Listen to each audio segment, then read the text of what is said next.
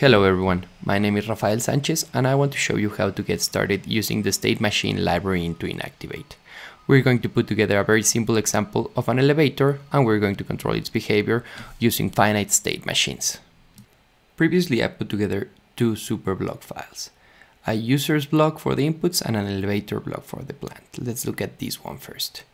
It's very simple, just takes as an input the control signal, there's an integrator, and a saturation block and a rounding block. This is going to represent the floor in which we're currently in. Let me show it to you. We're going to feed it a sine wave with a low frequency just to see how the elevator traverses and let's analyze with a scope.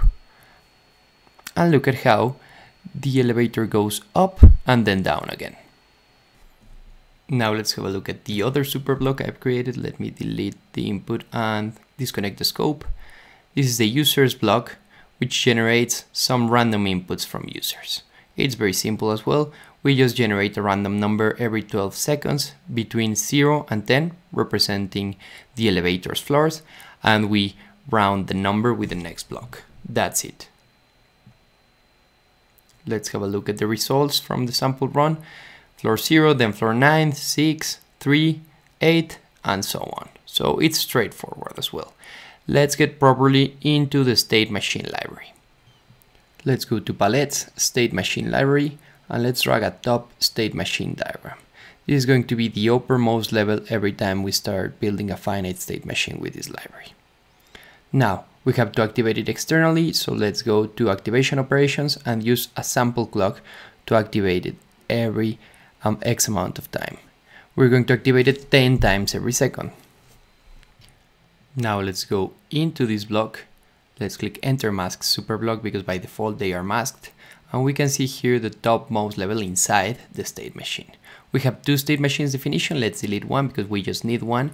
And these are the inputs to the state machine, all the data it needs to gather for its behavior, and all the outputs. Let's rename them accordingly we need the level which we desire. Let's label this command level.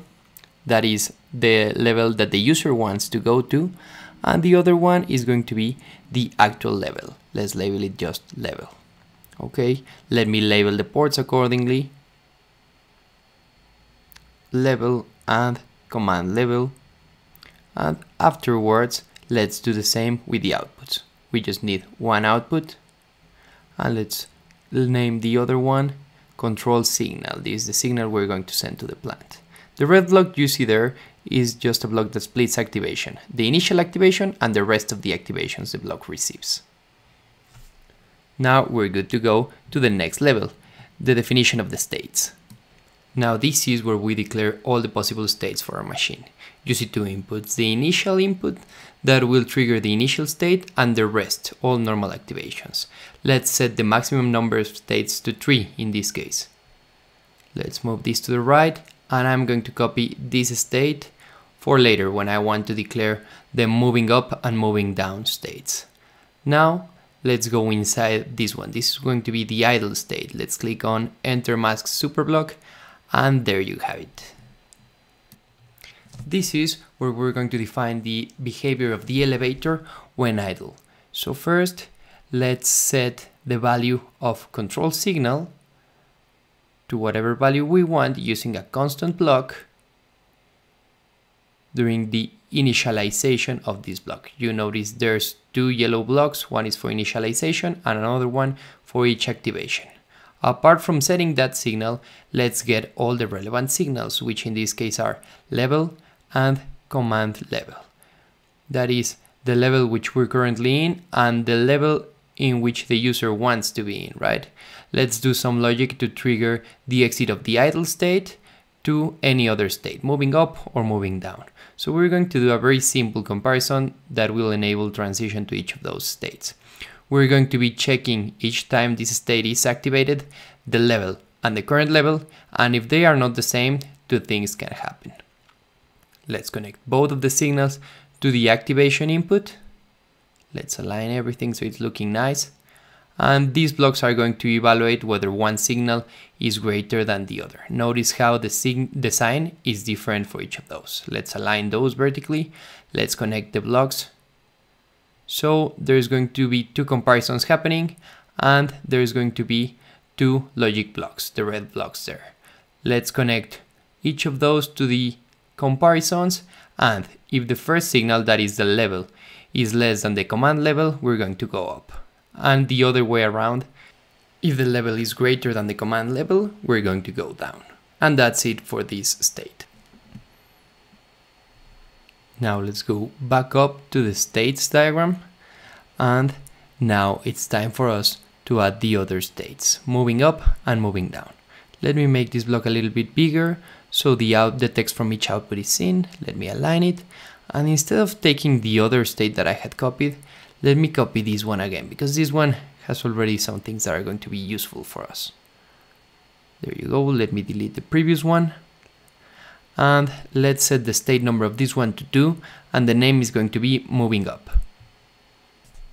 And now let's click on this state, enter mask superblock, and here we can edit everything. Oh, I noticed I left control signal as 1 for the other state when idle. That's a mistake. This should be 0. There we go. Now we're ready. Let's exit this state and go back to the moving up state. Enter mask superblock and there we go. This one should be set to 1 in this case. This time there is just one possible transition to go out of this state, so I'm going to delete one of them and I'm going to relabel this one as stop. The control signal is going to be set as 1, that is the elevator is going to be going up and then we're going to use a single logical block this time that is going to measure whenever the level and the desired level have reached the same value, we are going to stop. And there we have it. It's a really simple state. Just during the initialization we set the control signal and then we monitor for whenever the level reaches the same value as the desired level. Now let's copy moving up state because this is going to be identical almost to moving down.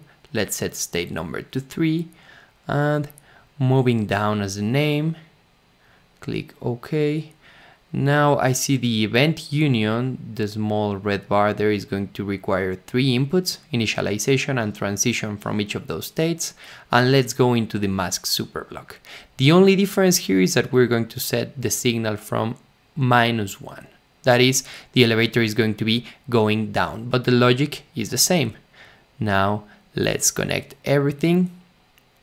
Very simple. Let's flip around the states for moving up and down.